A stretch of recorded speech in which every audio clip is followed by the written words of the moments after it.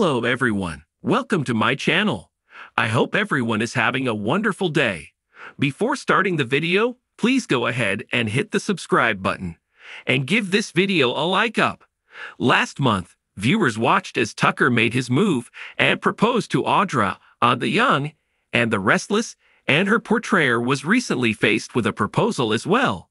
That's right fans, Zuleyka Silver is officially off the market and now an engaged woman.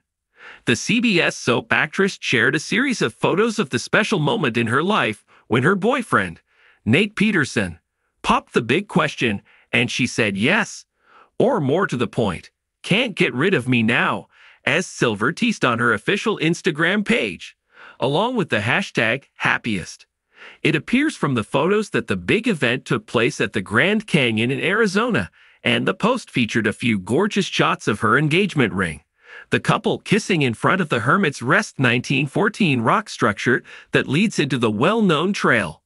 Beautiful pics of Silver and Peterson smiling for the camera and a college of memories to close out the post.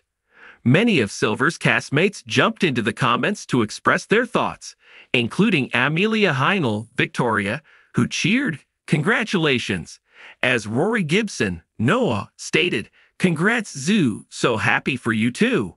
With Kate Linder, Esther, adding, So happy for you, congrats. And Vail Bloom, Heather, shared, I just saw you walked by my room. I'm gonna run out and give you a hug next time I see you. How exciting! Soaps.com sends the couple our biggest congrats as well, and we wish them a lifetime full of happiness with many more memories to be made along the way as they begin this new chapter in their life. Thanks for watching this video. Please subscribe to our Young and Restless 24 YouTube channel and stay with Tia.